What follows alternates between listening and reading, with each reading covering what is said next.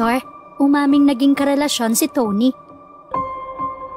Sa kauna-unahang pagkakataon, inamin ng aktor na ito ang naging relasyon niya sa sikat na actress ho sa si Tony Gonzaga. Laking gulat ng marami na nagkaroon pala ng relasyon ng dalawa. Talagang hindi sumagi sa isip ng marami na aaminin nga ng aktor na ito na naging sila. Ito daw kasi ang unang pagkakataon na isinapubliko iyon. Isa si Tony Gonzaga na labis ay hinahangaan sa showbiz pagdating sa pakikipagrelasyon. Bagamat naging in-demand din na aktres at hindi na mabilang ang ginawang pelikula, Marami na ang nalink dito at mga aminadong niligawan siya. Ngunit sunod-sunod din daw ang pambabastad niya sa mga ito. Isa sa mga aminadong nabastad ni Tony ay si Luis Manzano. Nalingkren si Tony sa mga naging ka-love team niya na sina Piola Pascual at Sam Milby. Pero wala siyang kinumpirma na mga nakarelasyon niya ito. Tanging ang relasyon lang niya sa asawa niya ngayon na si Derek Paul Soriano ang pinoblik ng aktres. Pero ngayon, ang mismong aktor na si Eric Fructuoso na ang nagsapubliko ng nakaraan nila ni Tony Gonzaga.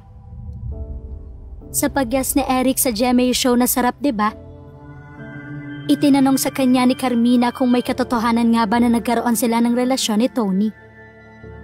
Sagot niya, Oo, meron, yes.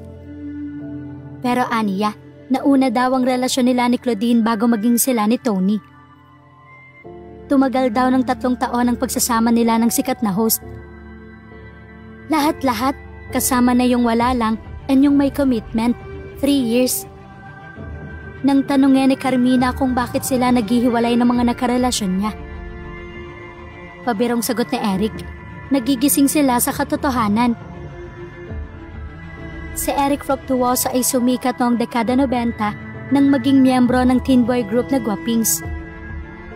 Kasama niya nga sina Mark Anthony Fernandez, Jao Mapa at Jo Marie Iliana.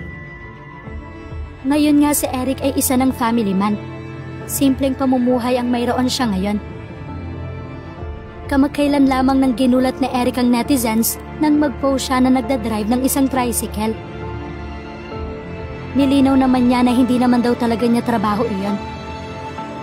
Ngunit willing siyang gawin kapag kinakailangan. Habang si Tony naman na tuloy-tuloy ang career sa showbiz, ay masaya na rin ang buhay may pamilya. Kamakailan lang din ang i-welcome ni Tony at Derek Paul ang kanilang second baby na si Polly. Wala pa namang naging kumpirmasyon si Tony Gonzaga sa ibinunyag ni Eric sa national TV.